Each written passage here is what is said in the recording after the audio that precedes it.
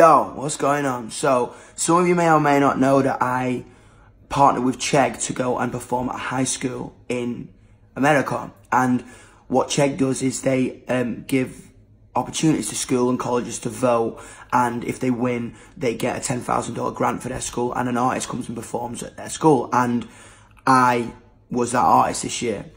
And Hanford School in California won this year but some of the local community and the news petitioned against me coming because they believe that my community and my songs are insensitive, especially kill somebody towards gun violence and school shootings. And I just wanted to do a video message just to say that, just to ask people to look beyond the surface of things because if anybody actually knows my community and knows me, what we pride ourselves on is bringing people together and unifying people and allowing people to be themselves.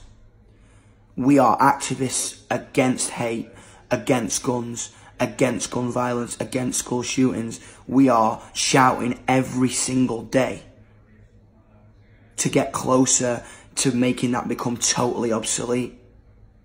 I just ask you if you don't know something, please do not judge it on surface level.